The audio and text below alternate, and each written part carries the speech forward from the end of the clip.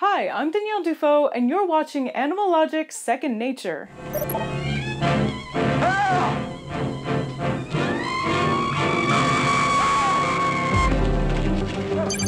What is it like to be a bat? They roam the night when it's pitch black. Their prey is small, fast, and well camouflaged. It seems like a losing battle, but the bat has another card under its wing. It can see the echoes of its own voice. It's the most advanced sensory tool in nature, and it's evolved separately in several different species. This is echolocation. I was just conducting a little experiment, trying to find out how the devil bat does his killing.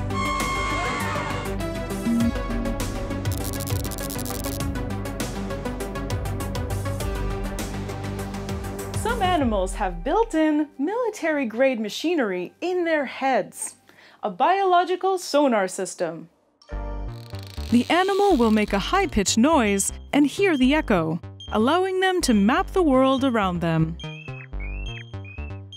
When the sounds bounce off of different materials, they sound different. And the closer the object is, the faster the sound will bounce. This is an amazing strategy, but it has a big drawback. As the high pitched noise travels and disperses through the air, it loses power density. Some of the sound is also absorbed by the air and water. But to deal with this, they have two adaptations. They can make extremely loud noises that can travel far, and they have amazingly sensitive hearing. The best natural sonar belongs to bats, who use it to catch prey as small as a moth. There are over 1,200 species, and over half of these spooky creatures echolocate. You've heard about the bats they have here. Some of them bats is rabid. Well, Different species use different frequencies, and they range from about 20 to 200 kilohertz. Lower frequencies travel further, but higher frequencies paint the best 3D picture of their surroundings, especially when they chirp 200 times a second.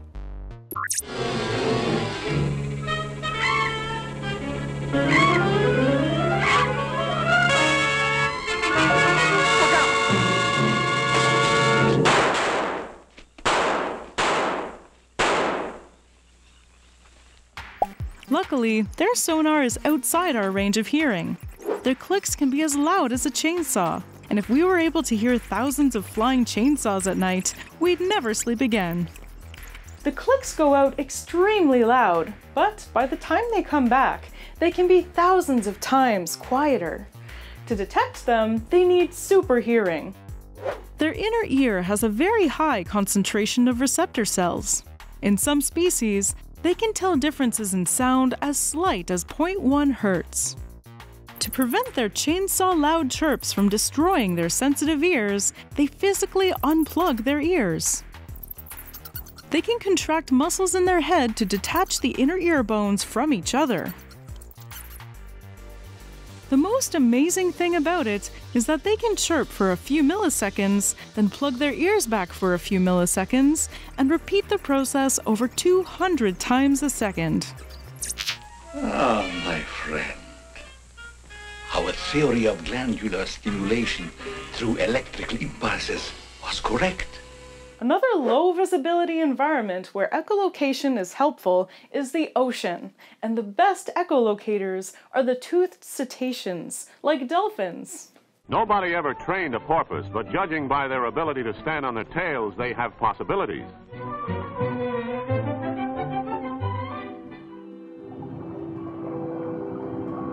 Dolphins are amazing explorers, hunters, and social creatures despite not being able to rely on their sight or their sense of smell to navigate their environment. And they manage to do it all through echolocation. It's plain to see why saltwater fishermen hate to see porpoises appear. They can ruin fishing. To make their clicking noise, they slap structures in their blowholes called sonic lips. they have two pairs of lips, as they evolved from the two nostrils in their terrestrial ancestors, so they can make two clicks simultaneously. The sound then travels through the melon, the fatty part of the dolphin's head, which can change its shape to focus the sound wave to the object of the dolphin's attention. It's basically a lens for sound. The echoes are then received through the dolphin's lower jaw and transmitted to the inner ear. And all of this happens in a fraction of a second, as sound travels faster in water than in the air. Now, since the watch is waterproof, I guess that proves that sound also travels better through water. that's right. Rehabilitated dolphins at the Dolphin Research Center in Florida are teaching scientists about their ability to see through their ears. Blindfolded dolphins are able to find a metal ring at the bottom of a pool by sensing the differences in the echoes that bounce off the ring and those that bounce off the sand. A helpful tool when you're looking for your keys before leaving the house.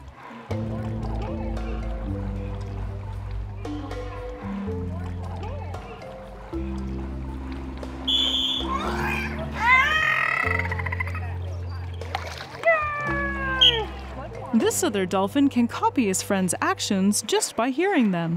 Their ears are really high precision tools.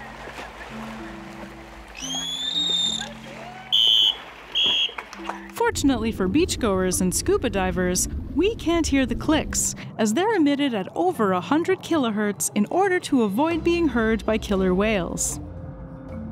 Toothed cetaceans are not the only mammals who echolocate. Over a hundred species of shrews and several other small mammals have developed the ability to use sound for navigation. Have you ever heard of a shrew? As in taming No, of the the... animal. Bradford called them Soraxoricidae when he showed you one. Oh, then shrew must be the common name for those cute little animals. Cute. That's the last word you can use to describe those little monsters. They're the most horrible animals on the face of the earth. Shrews, for example, are very vocal animals and are known to twitter when exploring new environments. Like bats, shrews are nocturnal animals, but since they're close to the ground, they're able to use their sense of smell to find food. Do you believe in fairy tales? Well, I'm a little old for that sort of thing, but uh, what'd you have in mind? There are two or three hundred giant shrews out there. Monsters weighing between 50 and a 100 pounds. That's as big as a full-grown wolf. And what's more, they are beginning to starve. In both bats and dolphins, there was a need to develop high frequency echolocation to avoid attracting predators. But shrews' tweets might not be loud enough to attract predators and are even in the range of human hearing.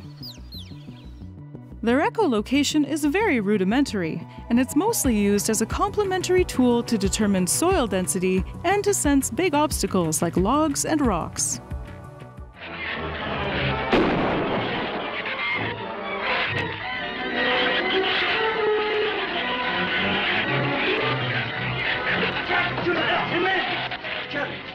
The shrews were out there. I couldn't take a chance.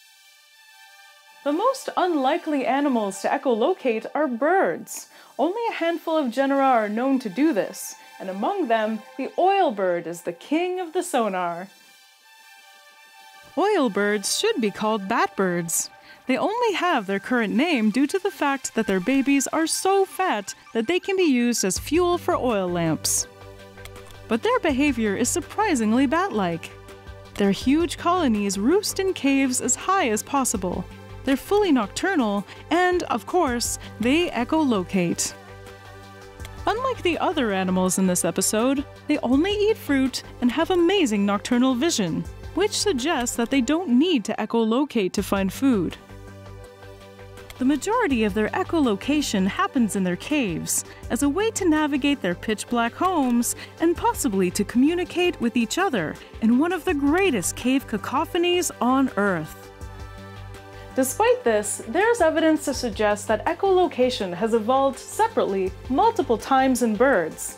With a little luck, we might see new birds develop this amazing sense.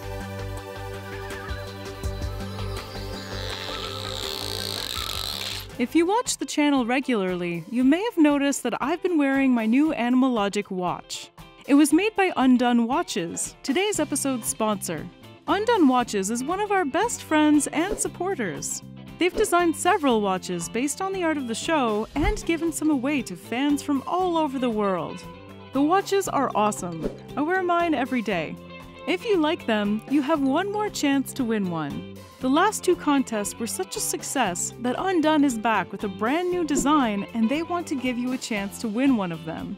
The new watch is absolutely stunning. I can't wait to get my hands on one. Click the link in the description to enter for a chance to win one of these amazing timepieces. It's the most stylish way to show your love of animals and your support for the show. So, what should we talk about next? Please let me know in the comments and be sure to subscribe for new episodes every week. Thanks for watching, stay safe, and see ya!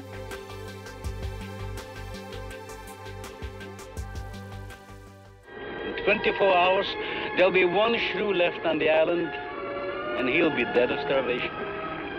An excellent example of overpopulation. Well, you know something, Doctor? What's that? I'm not going to worry about overpopulation just yet.